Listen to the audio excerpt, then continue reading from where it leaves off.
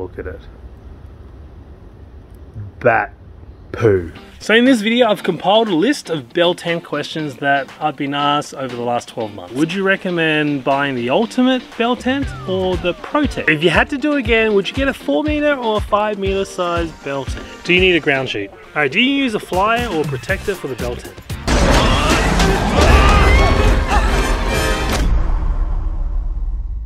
Firstly, thank you, thank you, thank you, thank you, thank you, thank you. We are so appreciative of everyone's support, views, and likes about this epic bell tent over the last 12 months.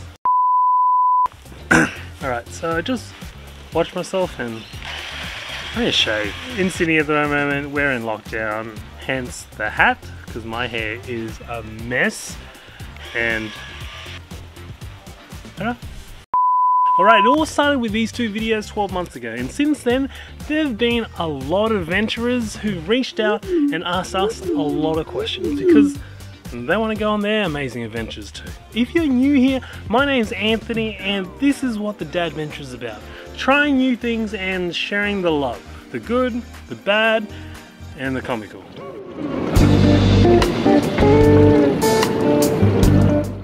So over the last year, I've been asked a lot of questions around our trip to the snow, where we camped on the snow in negative 7 degrees with a 3 year old in a bell tent.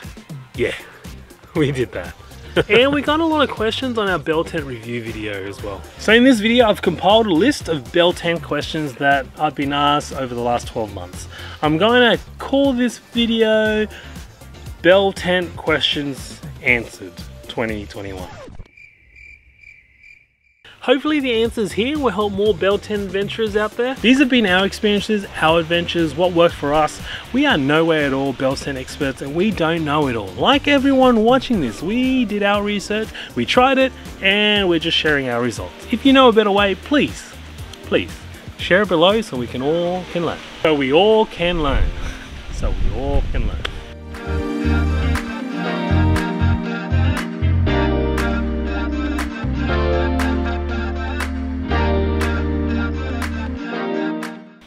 This is a common question that I get asked a lot. Would you recommend buying the Ultimate Bell Tent or the ProTech Bell Tent? Firstly, both of these models are canvas camp bell tents. Uh, here are the differences. The ProTech model has a thicker cotton canvas material all around. The ground sheet's also thicker as well. Due to the thickness, the ProTech weighs in like at 29 kilos and the Ultimate weighs in about 24 kilos. 5 kilos more. But the biggest difference, the biggest difference between both of them is that the ProTech has a double wall, a zip mesh wall and a canvas wall. So you can roll up the canvas wall in summer and have the nice outside breeze come through, but keeping all the bugs out. I have the Ultimate model because the ProTech model was in stock when I needed it. If I did it again, I would definitely go the ProTech, just because of the double wall. So if you had to do it again, would you get a 4 meter or a 5 meter size bell tent? Well, I have a 4 meter bell tent. Would I get a 5 meter bell tent? Hmm, yes I would. For sure, here's my reason. I have a 4 year old. she needs a space, we need our space, but let me show you how much room there is. This here is a double mattress, 2 meters by 1.5 meters. I think the 4 meters is perfect for a couple or you and a mate or two before it feels a bit squishy. Remember you have to add in a camp stove and that generally takes up a bit of room. I also leave the front entrance free so it's easy access. Mind you, if you consider the 5 meter bell tent, it's much heavier. It's like 40 kilos compared to your the 24, your 29 kilos. But you do get a higher door, as in the height of the door is higher in the 5 meter bell tent, which is 1.7 meters, whereas on the 4 meters is 1.5. I'm 1.8. I know that there are different brands out there that has a higher entrance for your 4 meter bell tents, so put that into your consideration. What camp stove mat am I using? So there is a heat-proof fire mat designed especially for camp stoves. I didn't use it because after reading some online forums, I ended up getting a fire resistant barbecue mat. It's about a third or a quarter of the price. Every time I fire this little guy up, I don't feel any heat in the fire mat or the ground sheet. However, I am upgrading it now. Um, I do have a toy coming and it is very, very, very, very exciting. Can't wait. Ooh, Right, look how big it is compared to the child. Woo! Can't wait. A big shout out to a gentleman named Keith. He mentioned that he loved my Godzilla moment in my first review. Mate, I do too. Thank you.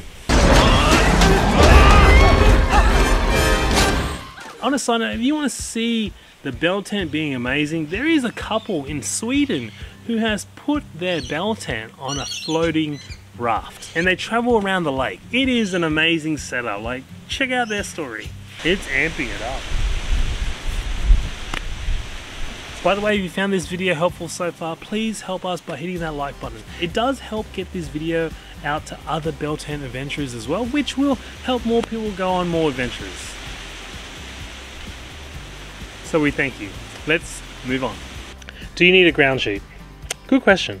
Been told by some that bell tent ground sheet will create some moisture if you don't have a protective ground sheet under it, especially on the snow or when it rains. From our experience, we don't use a ground sheet and we haven't experienced that personally. Originally, I did want to get a ground sheet to protect my bell tent ground sheet. How many times I've said ground sheet? Ground sheet. Through all the adventures we've had, the bell tent ground sheet has been really tough. Like we haven't had any moisture problems. The only problem that we've had, and it's not really a problem, is that the ground sheet gets really cold, like really cold. Which is why you often see us with random pieces of carpet and picnic blankets on the floor. It makes a massive difference by layering it. Ooh, so I saw a review recently where a bell tent company has designed a fitted matting that you can put on the ground. Yes!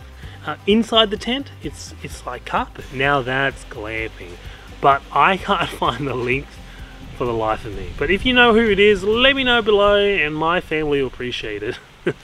Alright, do you use a flyer or protector for the bell tent? That is a good question. The answer is no, but there's a reason.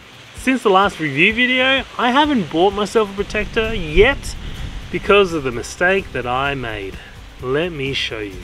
So this is the flue that I've added to the roof to my camp stove and that's the problem. I can't put a protector on it because, well, the flue is protruding out. Not to mention, obviously, the chimney as well. I'm still trying to find a workaround, but in retrospect, I should have found a camp stove that the chimney, instead of going upwards, it goes sideways into the side wall. Which means I can use the protector and I can use the camp stove. Oh, and while I'm talking about this, just to note, the exit flue here because it's on the roof, in summer when I don't use the camp stove, this is exposed. So generally I put a tennis ball in there. Yep, a tennis ball. But if I had it in the side wall exit, it would be less in your eye and you could use the protector. Again, I'm still trying to find a workaround with what I've done, but if you have a solution, let me know and thank you in advance. I'm just hiding from the wind. If there are any questions that you want to know and that we haven't answered yet, please let us know below. We'll answer it as much as we can. By the way, if you want to know more about the original review video, that's just up here. I don't know why I looked. and this is our adventure video at Mount Kosciuszko in a bell tent. Oh, and, and... Firstly, both of, firstly, both, blah, blah, blah, blah, blah, blah, blah. So,